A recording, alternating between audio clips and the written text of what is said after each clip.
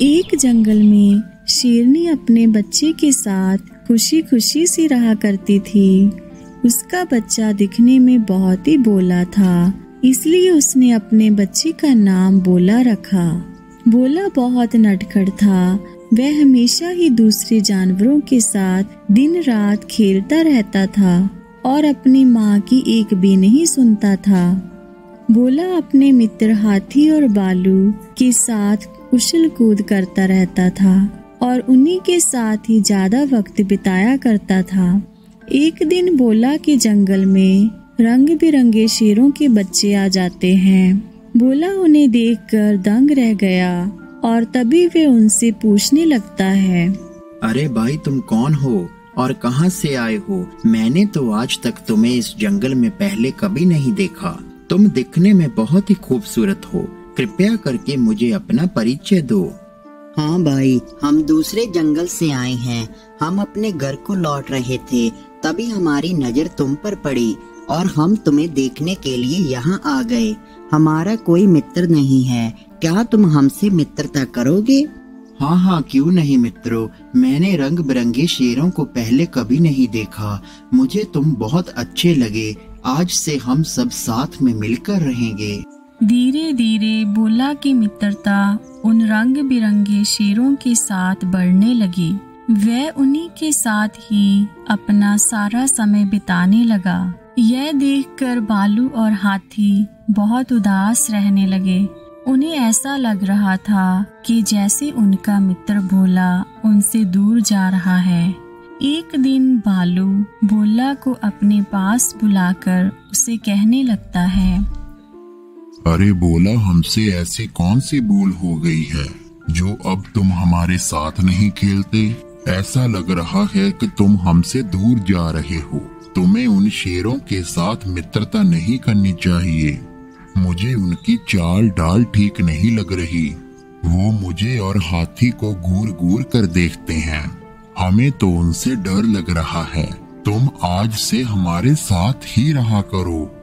नहीं नहीं यह तुम क्या कह रहे हो? तुम मेरे मित्रों को ऐसा मत बोलो। वो तो बहुत अच्छे हैं। वह मुझे ढेर सारा खाना खाने को देते हैं और मुझे दूसरे जंगलों में भी घुमाने के लिए लेकर जाते हैं। मैं उनके साथ बहुत खुश हूँ, इसलिए अब मैं उनके साथ ही रहूँगा। अब से वही मेरे पक्के मित्र हैं। बोला कि यह बात सुनकर हाथी और बालू निराश होकर अपने घर को लौट जाते हैं। एक दिन बोला शाम होने तक घर नहीं लौटा। उसकी माँ को बोला कि चिंता होने लगी थी। तभी बोला कि माँ ने बालू और हाथी को अपने पास बुलाकर उनसे पूछा तुम अकेले ही चले आए हो? बोला को अपने साथ क्यों नहीं लाए? वे तुम्हारे साथ क्यों नज़र नहीं आ रहा? कहाँ है मेरा बोला? बालू और हाथी शेरनी मौसी की यह बात सुनकर दंग रह गए। तभी बालू कहने लगता है अरे मौसी ये क्या कह रही हो? क्या आपको नहीं मालूम? बोला अब हमसे मित्रता नहीं करता। उसने अपने नए मित्र बना लिए हैं। वो अब रंग बिरंगे शेरों के बच्चों के साथ रहता है। हमें तो लगा शायद ये बात आपको मालूम होगी।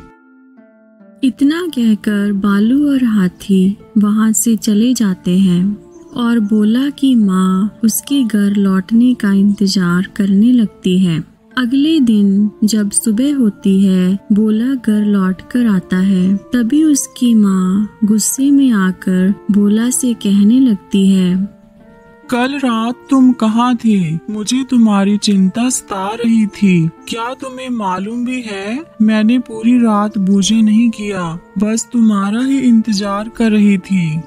क्या माँ, तुम तो यूँ ही परेशान हो रही हो। मेरे मित्र तो रात को सोते ही नहीं, वह तो रात को शिकार की तलाश करते हैं। मेरे मित्रों ने मुझे कल रात बहुत सारा गोश्त खिला दिया था, जिसकी वजह से मेरा पेट बहुत भर गया था, और मुझे वहीं पर ही नींद आ गई।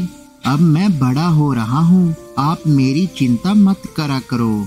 मेरे मित्र बहुत बलवान हैं, उनसे सारा जंगल डरता है।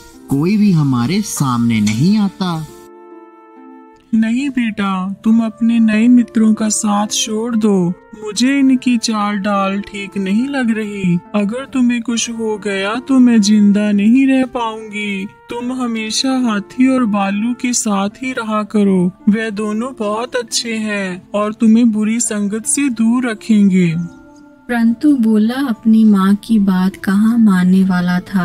वह तो बहुत शरारती और जिद्दी था। वो तो उन्हीं शेरों को ही अपना पक्का मित्र मानता था। धीरे धीरे बोला के मित्र उसे गलत संगत की ओर ले जाने लगे। वो उसे निर्दोष जानवरों का शिकार करने के लिए कहने लगे। एक दिन बोला का मित्र हरा शेर बोला से कहने लगता है, बोला मुझे पता चला है कि यहाँ से कौन सौ मील दूर एक ऐसा जंगल है जहाँ पर बहुत सारे जानवर रहते हैं। हमें शिकार करने के लिए उस जंगल में जाना होगा। वहाँ पर हम पेट भरकर ढेर सारा खाना खाएँगे।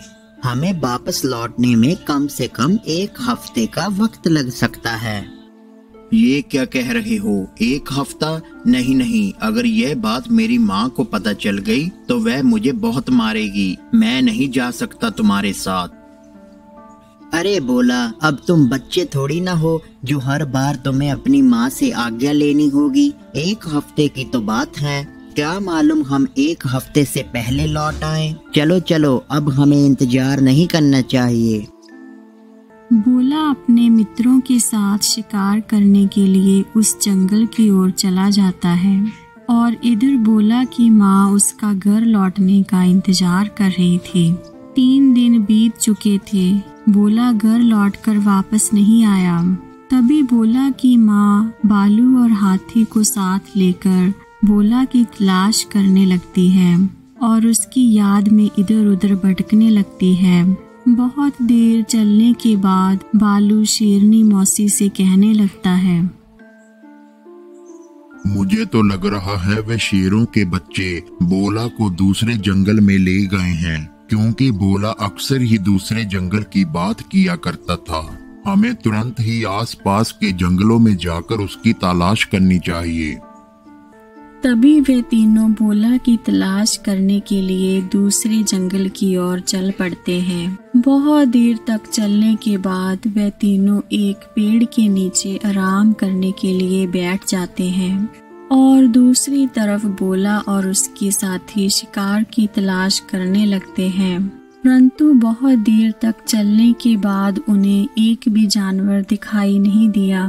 देखते ही देखते वे तीनों ही भूख से तड़पने लगते हैं। तभी हरा शेर अपने भाई के कान में कहने लगता है भैया इस जंगल में तो एक भी जानवर दिखाई नहीं दे रहा। ऐसे तो हम भूख से तड़प कर यहीं मर जाएँगे।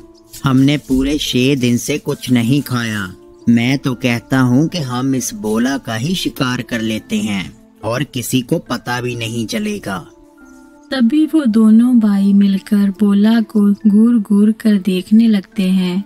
तभी बोला उनसे कहने लगता है क्या हुआ मित्र? तुम मुझे ऐसे घूर कर क्यों देख रहे हो? बोला, हो सके तो हमें माफ़ कर देना, परंतु हम भूख से मर जाएँगे, हम भूखे नहीं रह सकते। इसलिए हमने ये फैसला किया है कि हम तुम्हारा ही शिकार करेंगे। बचाओ बचाओ। इतना कहकर वे दोनों भाई बोला के पीछे पड़ जाते हैं और बोला ज़ोर ज़ोर से चिल्लाने लगता है और उनसे दूर भागने लगता है। तभी उसी जंगल में इंतज़ार कर रही उसकी माँ को बोला की चिल्लाने की आवाज़ सुनाई देती है और वे तुरंत ही बोला की ओर भागने लगती है।